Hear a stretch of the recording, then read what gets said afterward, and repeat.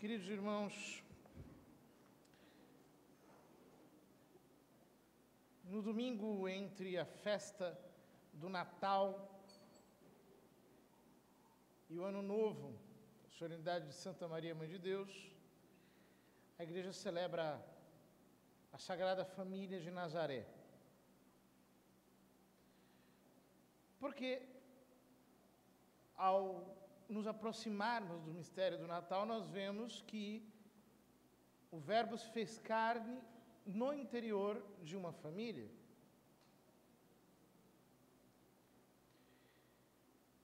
Mas essa família tem todos os traços de uma família modelo, arquetípica, de uma família perfeitíssima. Por quê? Porque Deus se encarna nas entranhas de Maria Santíssima. E São José, a ela está unido por um matrimônio em que a comunhão de bens espirituais o eleva a um nível de santidade humanamente inalcançável. Portanto, tudo gira em torno do mistério da encarnação. E por isso Cristo é o centro da Sagrada Família. É preciso entendermos que o vínculo entre Nossa Senhora e Nosso Senhor é muito mais forte do que parece à primeira vista. Desgraçadamente, muitos de nós acabamos sucumbindo, a certos conceitos oriundos dos nossos irmãos protestantes, os quais entendem que Maria Santíssima teria sido uma espécie de porta pela qual Cristo passou. E não é este o dizer da Sagrada Escritura. Porque São Paulo diz, quando chegou à plenitude dos tempos, Deus enviou o seu filho, nascido de mulher, e não nascido através de uma mulher. E São Mateus, quando descreve a genealogia de Jesus, diz que José era esposo de Maria, da qual nasceu Jesus, que é chamado Cristo, e não através da qual nasceu Jesus. Isso não é apenas uma coincidência literal. Isso. Isso é uma realidade. Ou seja, para nos salvar, Deus se fez homem. É através do seu corpo, do seu sangue, da sua alma humana, unidos à sua divindade, que ele nos salva. Portanto, a sua humanidade santíssima é um instrumento da nossa redenção. Mas da onde ele extraiu a sua humanidade? De Maria. Por isso,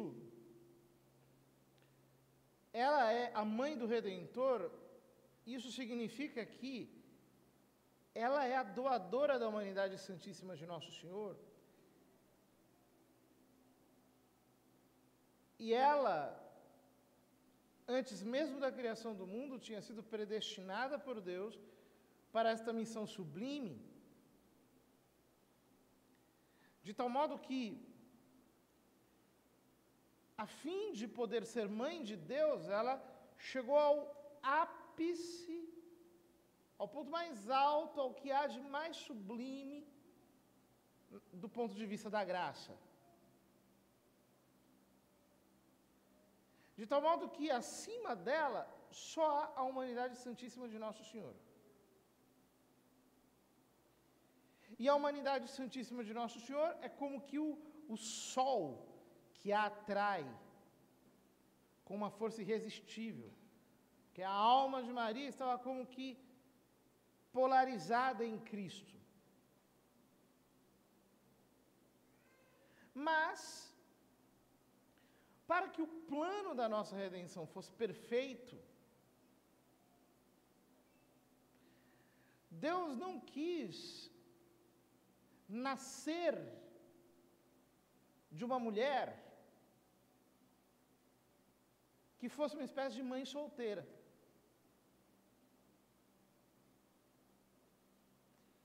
Ele quis nascer num matrimônio real. Por isso, embora fosse virgem, e o fosse até o fim da vida, por um movimento da graça, Maria Santíssima e São José se conheceram e contraíram matrimônio. Matrimônio real, matrimônio verdadeiro, mas sem nenhum tipo de conjunção carnal. Isso nós vemos quando São Gabriel aparece a Nossa Senhora, vimos no domingo passado, e apesar de ela ser desposada com São José, ela responde ao arcanjo que não conhece varão. E não entende como ela pode ser a mãe do Messias. Isso significa que o matrimônio de ambos era virginal. Mas, quando nós dizemos que o matrimônio de ambos era virginal, nós estamos dizendo que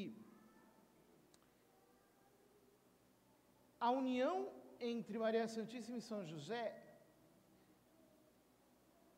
transcendia qualquer tipo de união natural. E por isso, ela e ele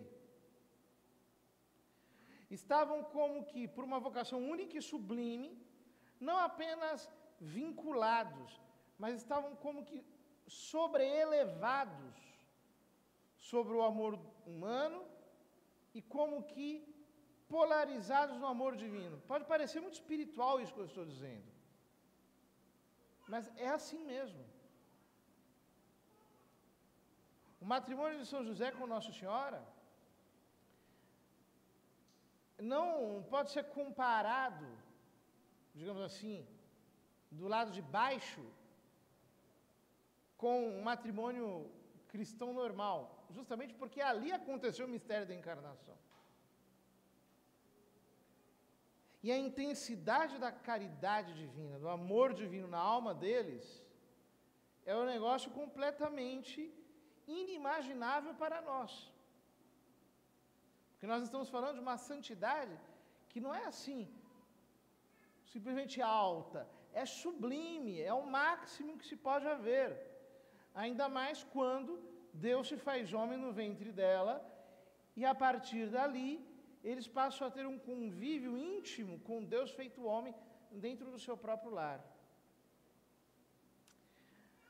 Nós podemos imaginar, às vezes, quando nós recebemos uma graça especial de Deus,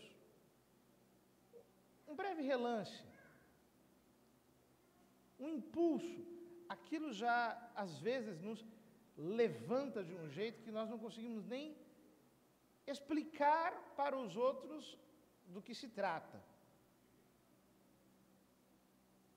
Porque a força da graça realmente é, é, impressionante. Agora, o que seria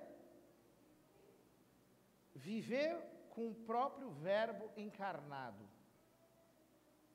No caso de Nossa Senhora, sendo ela mãe de Deus, tê-lo dentro de si, tê-lo em seus braços, e o mesmo São José, amando, beijando, tratando dele, sustentando-o com o seu trabalho, e ambos tendo Nosso Senhor ali, debaixo do seu teto, o tempo todo.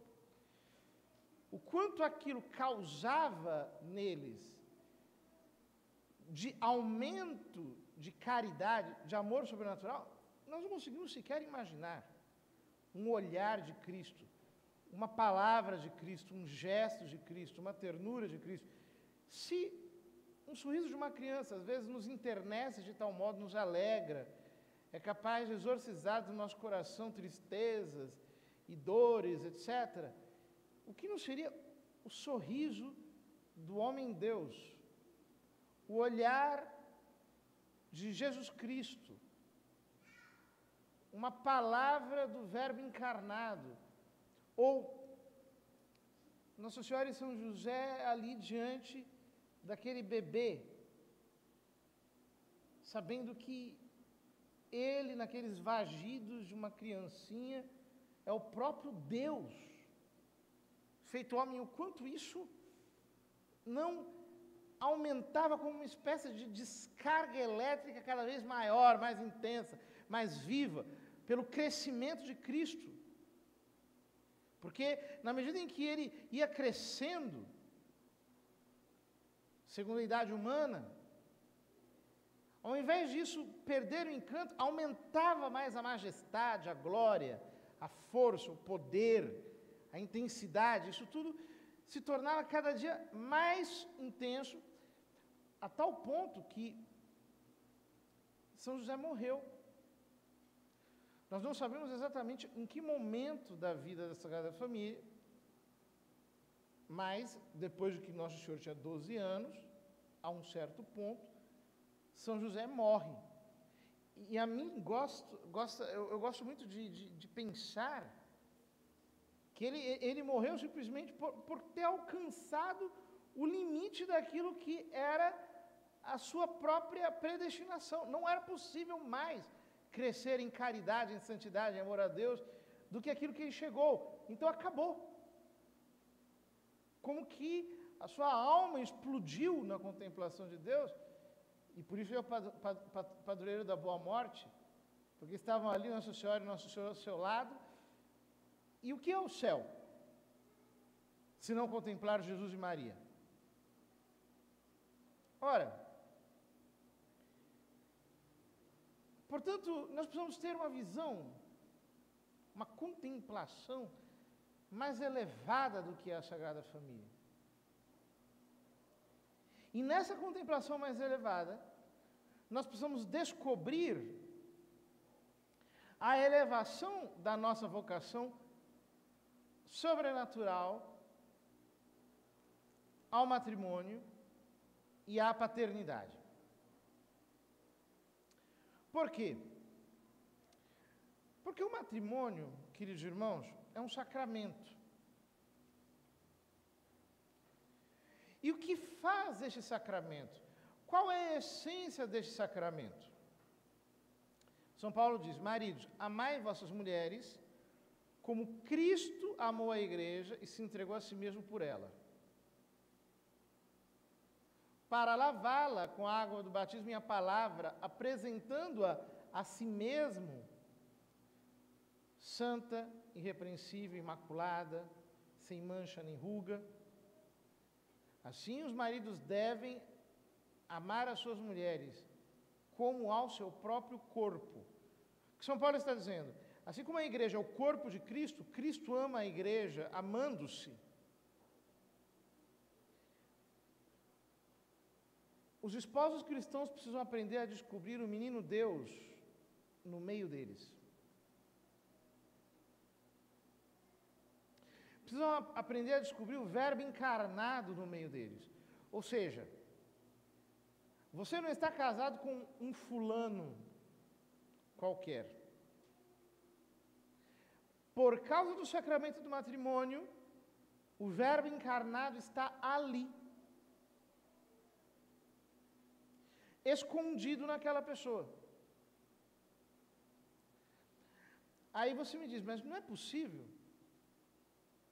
Porque essa pessoa é, é tão cheia de defeitos, é tão cheia de mazelas, é tão cheia de dificuldades, é tão imperfeita. Pois é. É por isso que o sacramento do matrimônio requer o exercício da fé. Ou seja, você só pode descobrir Cristo naquela pessoa pela fé. não pelos seus sentimentos, não pelas suas experiências, não por aquilo que você viveu ao lado dela, não pelos traumas, não pelos maus momentos, mas unicamente pela fé. Qual é o problema dos casais cristãos? É que eles estão treinados para viver o matrimônio de modo naturalista. Ou seja, você quer viver uma história com um fulano qualquer, um romance. Então você projeta na sua mente é, todo um roteiro, toda uma história maravilhosa. Você está com expectativas humanas e carnais e, e quer ter a correspondência para todas as suas carências egocêntricas através de alguém. E aí muitas pessoas se casam e parece que a vida delas é fazer com que o mundo gire em torno daquele casamento. Os casais se acomodam muito facilmente. Quando, na verdade, assim como um monge entra para o mosteiro para buscar a santidade, alguém se casa com alguém, se é cristão, para buscar a santidade ao lado dessa pessoa a finalidade é a mesma. Você quer encontrar Cristo ali. Ora, no mosteiro, a vida não é fácil. Você tem que acordar de madrugada, você tem que plantar a horta, você tem que obedecer o superior, você tem que cumprir as horas, você tem que fazer tudo aquilo que está mandado na regra, você tem que ter uma vida austera, uma vida sacrificada, uma vida crucificada, etc mas aquilo está te fazendo descobrir, no meio daquelas vicissitudes todas, a santidade. Do mesmo jeito, quando você casa com alguém, todas aquelas dificuldades inerentes à personalidade do seu cônjuge são como que as cruzes que fazem parte de um mosteiro, as quais você tem que enfrentar com responsabilidade para poder descobrir o caminho da santidade naquela pessoa amando-a, sacrificando-se por ela, morrendo um pouco cada dia, obedecendo, deixando sua vontade de lado, mas não por razões egoístas. Pela fé. Porque você quer amar Cristo naquela pessoa. É por isso que para um casal cristão, uma briga é uma coisa muito séria. Não é a mesma coisa que brigar com um irmão, por exemplo. Porque você está ofendendo nosso Senhor Jesus Cristo. E você só é capaz de ofender aquela pessoa porque você desceu de plano e você não consegue mais enxergar pela fé Cristo nela. Você só enxerga a ela. Então você começa a, a brigar, a ofender, a maltratar, a, a deixar de lado. E a vida é assim. Vocês vejam. Se alguém for rezar só quando tem vontade, ele vai rezar bem raras vezes. Porque qual é o dia que você diz assim, nossa, hoje eu estou doido para rezar, três horas sem parar, quero ganhar um sacrário, ficar lá aos pés de Nosso Senhor. Raramente isso acontece. Você tem que se esforçar para rezar. Mas quando você busca de fato a oração, busca mesmo, vai chegar um momento em que a oração vai fluir. Talvez leve alguns anos para você chegar a isso, mas isso vai acontecer. A mesma coisa o casamento. Ele funciona como oração. No matrimônio você está aprendendo a rezar. No fundo é isso. Um matrimônio cristão é uma escola de oração, porque você tem que falar com quem você não tem vontade muitas vezes, você tem que servir quando você não tem vontade, você tem que sorrir quando você não quer, você tem que ser atencioso quando você não gostaria, você tem que ser educado quando você queria dar uma patada, você precisa ceder quando você queria fazer a sua vontade, você precisa compreender quando você, na verdade, queria ser compreendido, você tem que cuidar quando, na verdade, você queria dar um coice, você precisa amar quando você queria dormir. É como nós fazemos com Deus. É por isso que nem todo mundo tem vocação para casar, eu, graças a Deus, não tenho. Graças a Deus. Eu agradeço todos os dias a Deus pelo dom do celibato. Porque, de fato, é um dom, é uma, é uma vocação. A gente, quem tem vocação ao celibato, não suportaria casar, hein? Eu preciso do silêncio, da solidão, dos tempos comigo mesmo, é, e, e para rezar e para ler. Só de imaginar alguém dentro de casa já me dá angústia. Não dá, não tem jeito. Só que o homem hoje em dia, como só pensa em sexo, por causa da nossa cultura erotizada, jamais vai entender toda a castidade que faz parte do, de um matrimônio. Por quê? Porque, minha gente, é assim. Você não vai ter sempre a mesma disposição a vida toda. Você não vai ter a mesma juventude a vida inteira. Você não vai ter sempre a mesma intensidade. As coisas mudam. Uma coisa é antes de casar, depois, outra é quando você casa. É tudo diferente. A sexolatria é uma grande enganação. Porque se, se, os matrimônios fossem feitos de sexo, ninguém seria casado. Porque são eventos muito esporádicos, não é assim que funciona. É muito mais convívio, é muito mais amizade, é muito mais cumplicidade, é muito mais é, entrosamento, conjugalidade. É muito mais real, é muito mais espiritual. Mas um cristão, ele não se conforma com isso, com uma vida encaixada. Se fosse para viver um casamento encaixado, só, um cristão seria frustrado, porque não se trata disso. Se trata de unir-se a Cristo através de alguém, de descobrir Cristo através do seu cônjuge. É um verdadeiro caminho de santidade.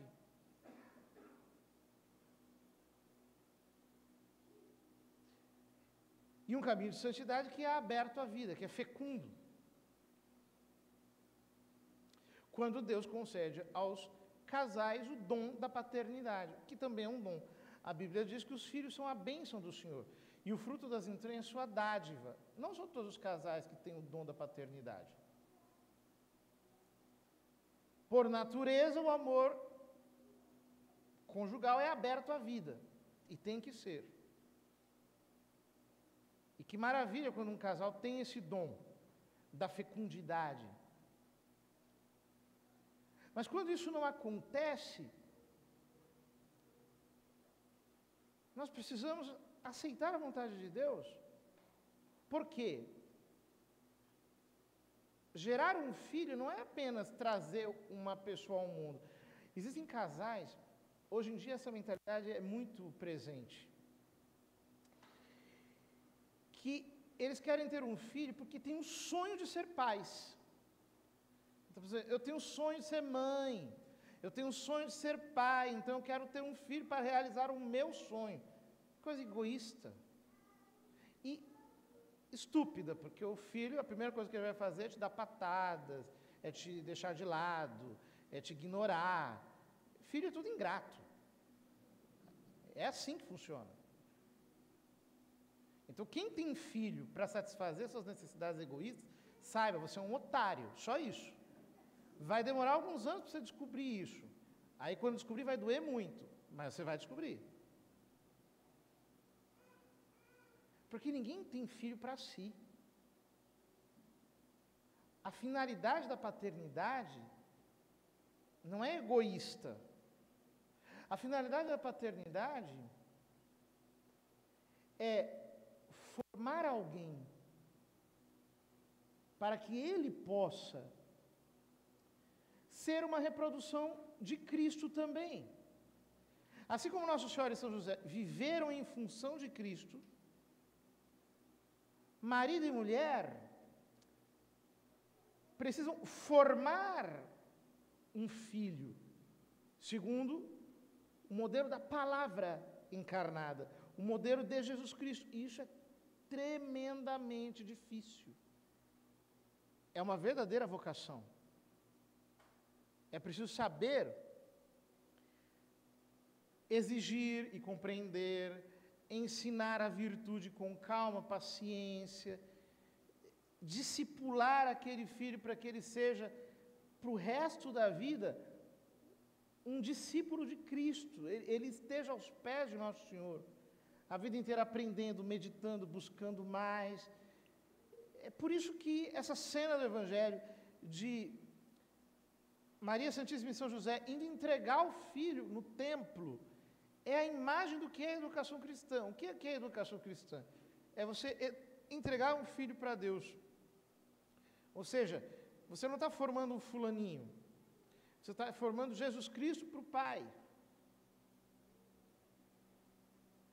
Ele é um modelo da educação. E hoje, formar Jesus Cristo numa criança é a coisa mais difícil que existe. Por quê? Porque existe todo um sistema feito para corromper os nossos filhos. Então, no fundo, para educar uma criança, não basta você ter dinheiro e colocá-lo num bom colégio, como alguns pais fazem.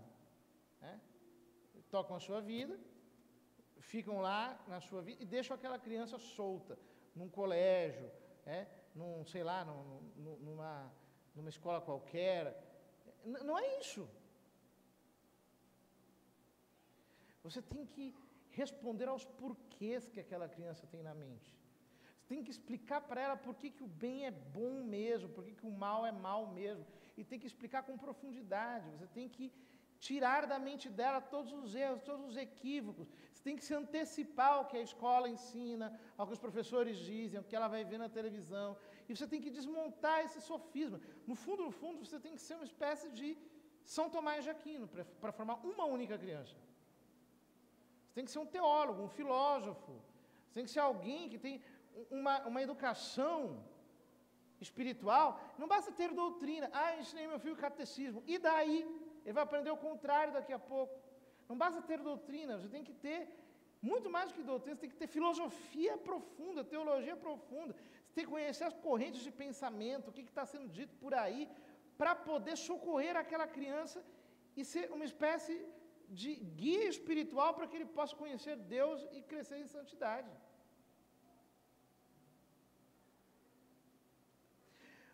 Ou seja, para quem está casado, ou para quem vai casar, entenda, isso aqui é muito mais que um romancezinho. É uma vocação divina. E muito exigente. É mais exigente, talvez, do que o sacerdócio. Mais exigente, talvez, do que a vida monástica. Requer muito mais. E aqueles que não têm vocação ao matrimônio, não fiquem tristes por isso. Porque é uma vocação. É uma vocação com todas as dificuldades que uma vocação tem. Existem pessoas que não têm estrutura para casar. Existem. Nem estruturas afetivas, nem psicológicas, nem morais, nem é, é, filosóficas. Não tem. Isso não é uma desgraça. Quem tem, precisa viver a sua vocação e precisa levá-la até as últimas consequências. E quem não tem, tem que buscar a santidade no seu próprio estado de vida, unindo-se a Cristo Nosso Senhor e sendo um apoio para as famílias que estão aí. E é assim que a igreja vai se construindo, com essas duas bases, mas muito fundamentado sobre a família. Vamos pedir ao Nosso Senhor que nos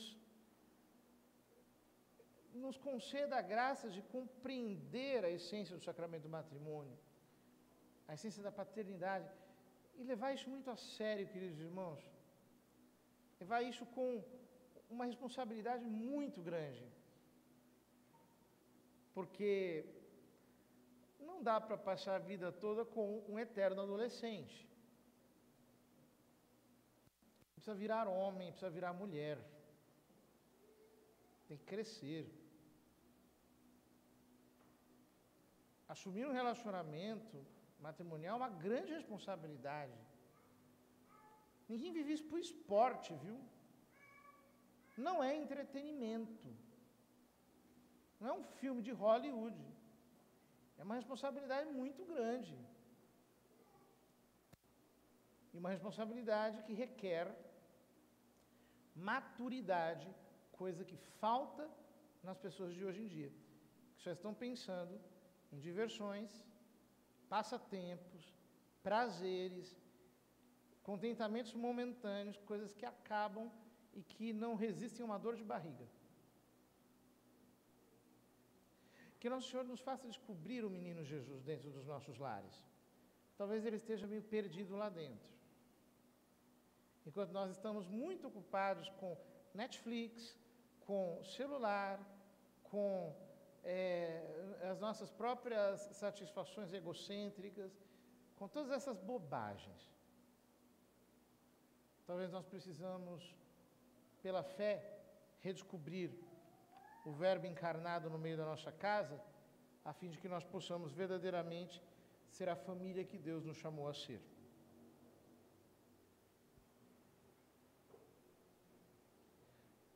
Creio em Deus, Pai Todo-Poderoso.